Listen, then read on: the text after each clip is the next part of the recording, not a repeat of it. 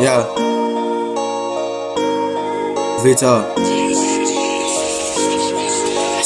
I don't know what you're going through, but I am here to tell you that no matter the issue, it will soon be over. I used to be like, used to feel worthless too. Yeah. Used to feel like my existence was mistaken. That is the truth. See, sometimes I get mad at myself for feeling the way I did.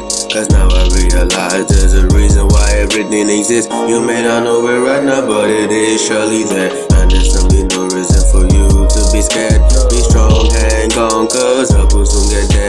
And if all hope is lost, remember there's always a step. Now let me take you on a trip that memory lane. This was even before I had.